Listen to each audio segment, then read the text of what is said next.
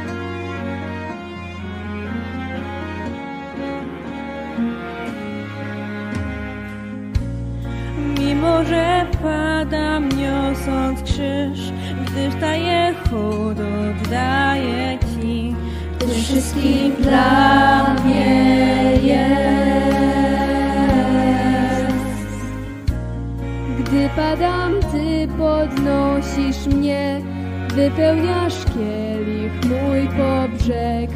Wszystkim dla mnie jest.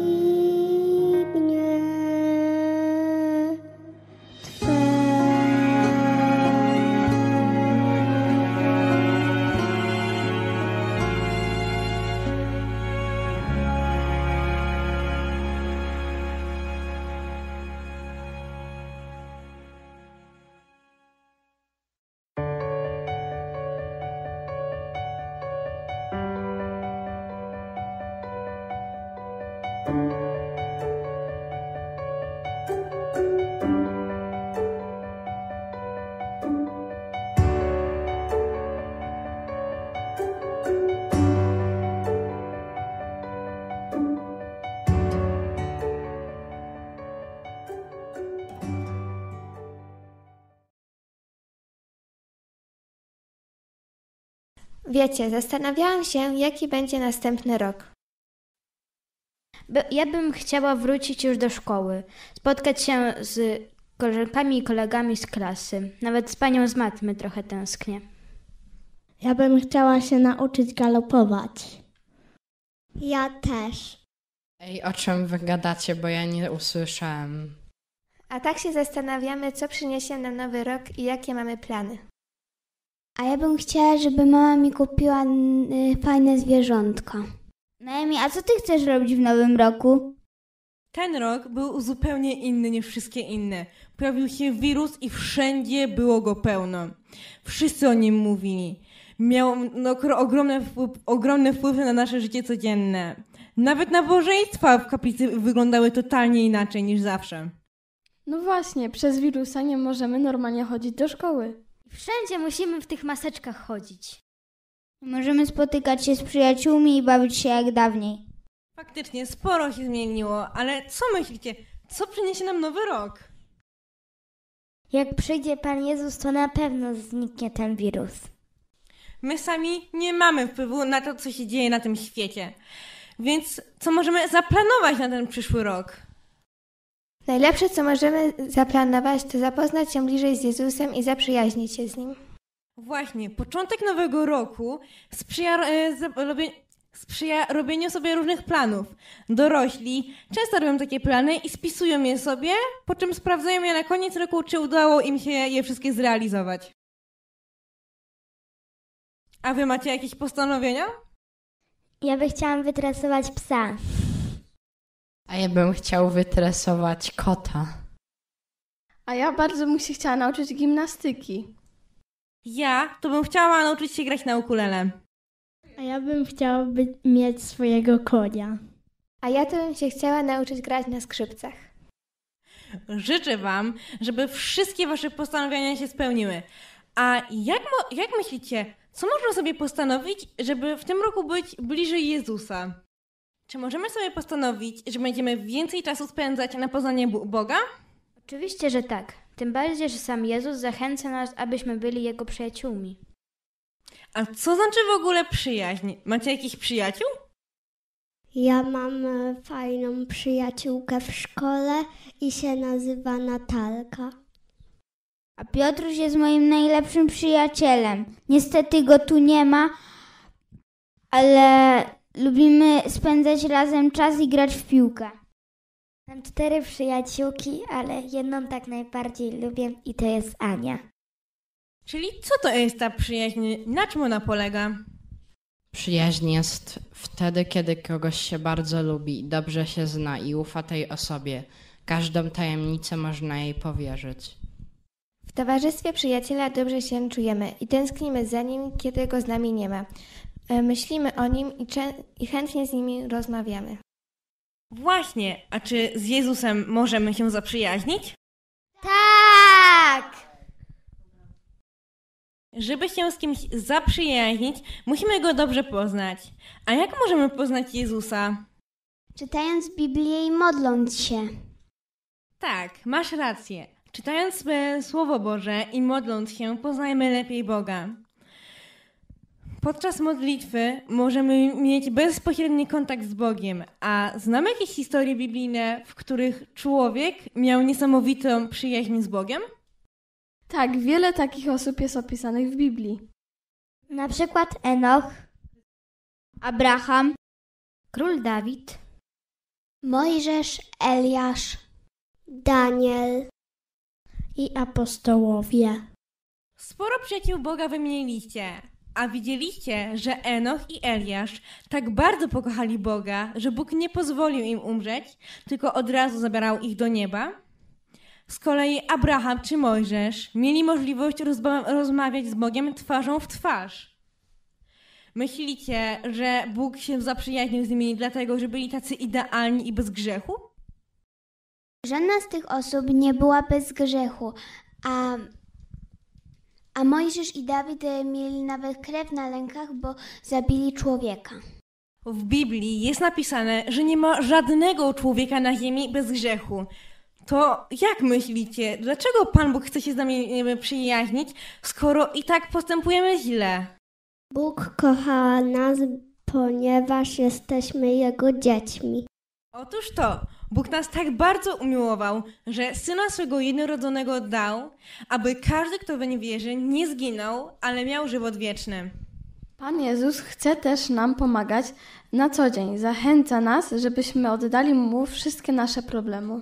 No właśnie, mi Pan Bóg pomógł na sprawdzianie z chemii. Uczyłam się do niego, ale się bardzo nim stresowałam. A mi Pan Bóg zabrał złe myśli. Że się bałam i się modliłam i, w, któregoś dnia Pan Bóg mi zabrał te złe myśli.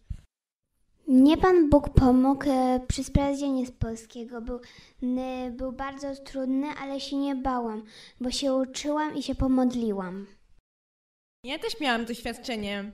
Miałam strasznie stresujący egzamin, modliłam się i na, moje, na moją korzyść on został odwołany. Pan Bóg mi pomógł przy sprawdzianie z hiszpańskiego, bo na początku się, się zaczęłam uczyć chwilę, dzień chyba przed sprawdzianem, no i dostałam wtedy trójkę.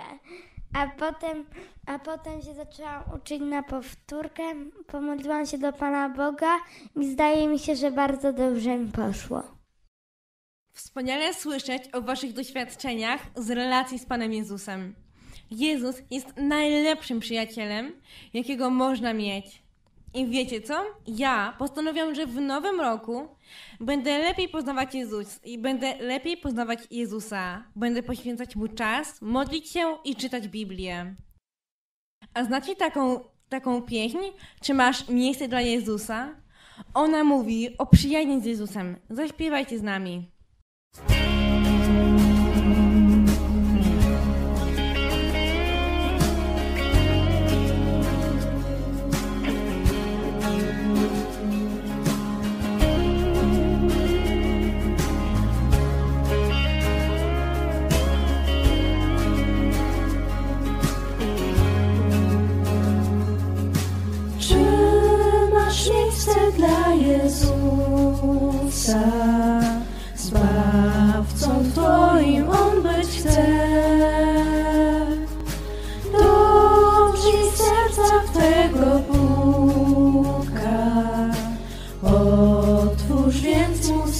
the sun.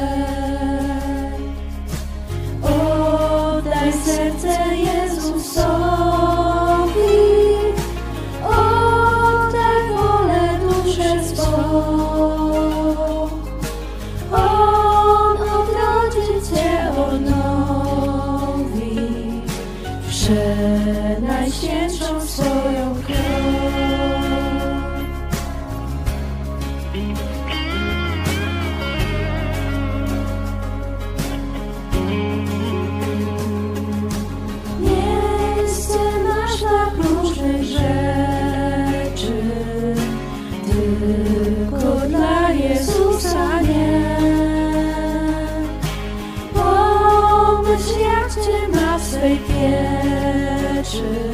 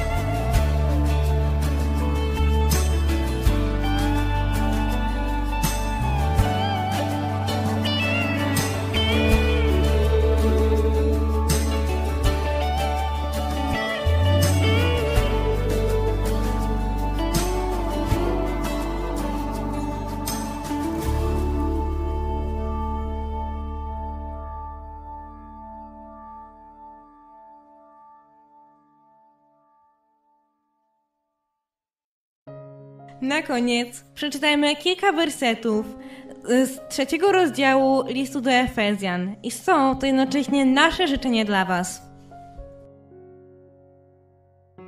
Dlatego zginam kolana moje przed Ojcem, od którego wszelkie ojcostwo na niebie i na ziemi bierze swoje imię, by sprawił według bogactwa chwały swojej, żebyście byli przez ducha Jego mocą utwierdzeni we wewnętrznym człowieku, żeby Chrystus przez wiarę zamieszkał w sercach waszych, a wy wykorzenieni i ugruntowani w miłości, zdołali pojąć ze wszystkimi świętymi, jaka jest szerokość i długość i wysokość i głębokość, i mogli poznać miłość Chrystusową, która przewyższa wszelkie poznanie, abyście zostali wypełnieni całkowicie pełnią Bożą.